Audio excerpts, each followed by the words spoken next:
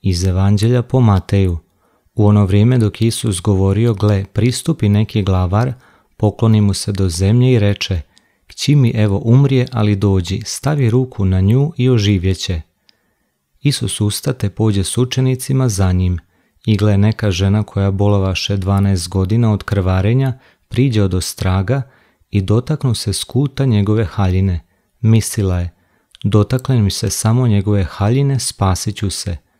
A Isus se okrenuo i vidjevši je reče, hrabro kćeri, vjera te tvoja spasila. I žena bi spašena od toga časa. I uđe Isus u kuću glavarovu, ugleda svirača i bučno mnoštvo pa reče, odstupite. Djevojka nije umrla nego spava. Oni mu se posmjehivahu.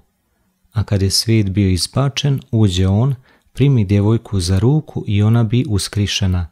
I razglasi se to po svem onom kraju.